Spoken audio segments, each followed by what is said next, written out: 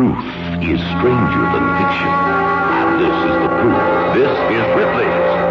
Believe it or not.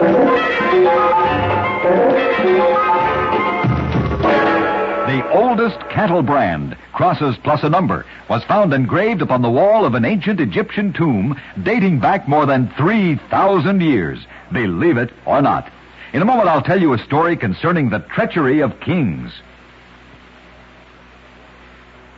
King Edward IV of England was warned by an astrologer that one of his brothers, whose name began with the letter G, would murder the king's two sons. As a result of this macabre prediction, the king ordered his brother George drowned in a cask of wine. His foul deed did not save the lives of his sons. The two princes were subsequently executed by the king's other brother, the Duke of Gloucester, who was then crowned as Richard III. Believe it or not.